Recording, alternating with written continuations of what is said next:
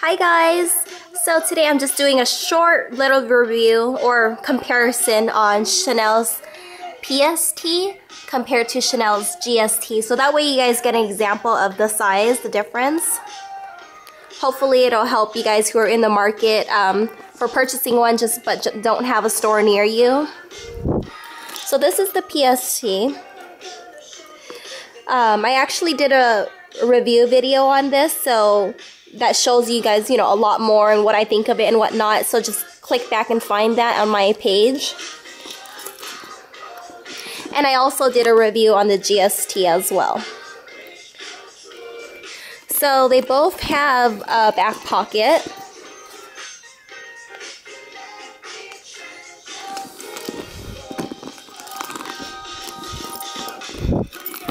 And then the logo. What I'll do is go ahead and put this in front of that one so you'll see. Or I don't know if that helps. And then we can do um, it side by side.